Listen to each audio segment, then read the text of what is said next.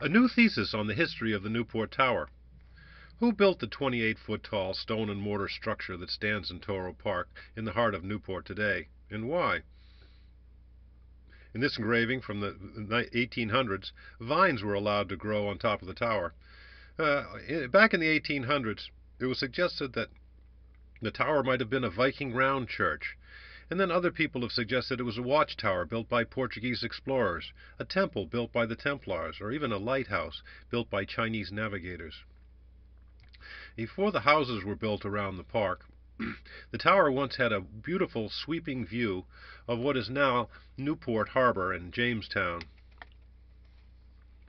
In his 1677 will, the first governor of Rhode Island, Benedict Arnold, who was the great great great grandfather of the Revolutionary war trader of the same name, refers to the tower as my stone built windmill. But Philip Means, who wrote the authoritative book Newport Tower in 1942, calls it the most unwindmill like structure I have ever seen. First, all other colonial windmills in New England were made from wood. Second, it has this unusual fireplace. Well, flour dust is more explosive than gunpowder, so the last thing you want in a windmill is a fireplace. One small spark and kaboom! Third, notice that the tops of each of the eight pillars that are down below have eight beam sockets on them. These would have uh, eight massive one foot by one foot beams, excuse me, four beams in a crisscross pattern that once supported a wooden floor. Here's the crisscross pattern and here's what it would look like with a floor on it. This means that the fireplace is a wall fireplace, as opposed to most normal fireplaces that start out at floor level with a stone hearth in front of them. Another strange thing is that the fireplace has two flues that rise up through the middle of the wall for about 10 feet, and then they exit out the exterior wall. Most fireplaces have only one flue. Also, most fireplaces have a lintel or a flat stone across the top, but this one has an arch. Structurally, an arch is stronger than a lintel, but look closely at the left end of this arch. Right where it needs its most support, there's a window. Why didn't the obviously very talented stonemasons simply locate the window a little further to the left? And above the fireplace, you can see the beam sockets for what was once uh, a second floor. and here I've drawn in a, a, simulation of what that floor would look like. So you see that this is a room that we're inside of now. In the room are three windows. The northeast window to the left of the fireplace, the south window over on the right, and this photo is taken from the west window. Now the curious thing about the windows is that they're all different shapes and sizes. They're different heights above the ground, and none of them is really symmetrically aligned with any of the pillars or the arches below them. Here's the three windows from a bird's eye point of view. In the mid 1990s, fellow researcher William Penhallow, an astronomy professor at the University of Rhode Island, discovered various astronomical alignments in the tower. Penhallow predicted that if you stood at a particular location in the park on the evening of December 25, 1996, the full moon will rise above the eastern horizon and be visible if you, if you look through the west window, through the first floor room, and out the northeast window. So I went there that night, and sure enough, he was right. Here is the simulation of the path that the the, the path that the moon took that evening. And here it is, the moment that it appeared through both of those windows. The unusual thing about this event is that it only happens once every 18 years. I call this the moon alignment. But in addition, Penhallow also found an interesting solar alignment. He predicted that around the winter solstice, through different, uh, in a different position at the northwest corner of the park, the sun would be visible through the west window, through the first floor room, and through the south window. Penhallow was right again. I photographed this alignment several times over the last few years, and it always happens, like clockwork.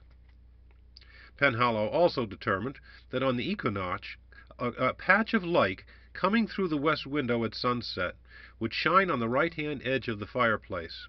Here is the sun just before sunset on the equinox, and you see the light coming through the west window and shining on the corner of the fireplace. Here it is a little bit later, it's just before it's starting to fade. In this time-lapse sequence, shows a patch moving from the lower left and moving up and up, and in the fourth frame, the patch of light is directly below the fireplace.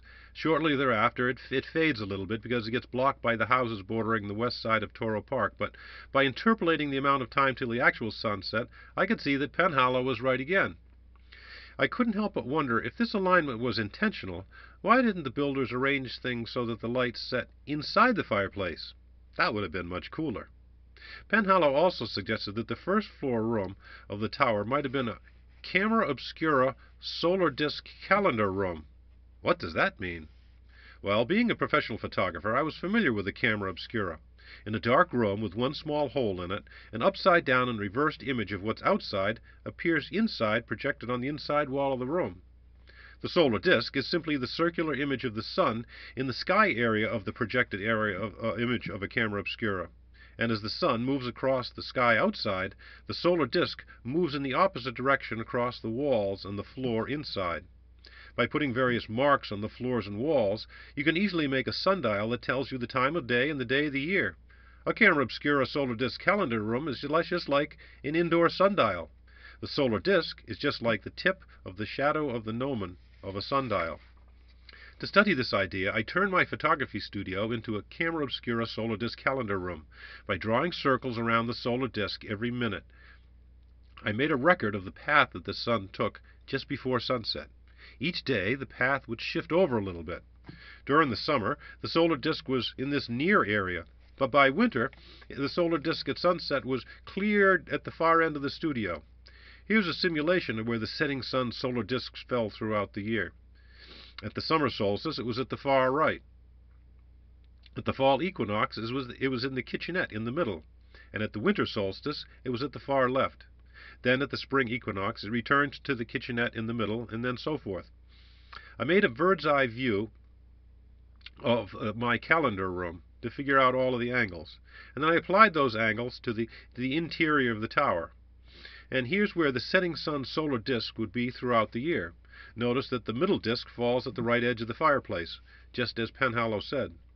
To get an idea of what a camera obscura uh, uh, inside of the first floor room of the tower might have looked like, I searched around Newport for a small room with a similar viewpoint over Newport Harbor. I spotted a small window at the top of an old firehouse tower on Lower Mill Street.